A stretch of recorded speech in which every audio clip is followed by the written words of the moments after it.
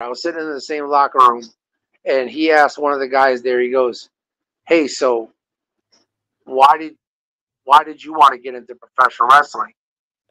And what do you think the guy said? What would be your answer if you were a wrestler and you were on the same show and Bully Ray walks up to you and says, "Hey, kid, Uh, what made you want to get into professional Uh, wrestling?"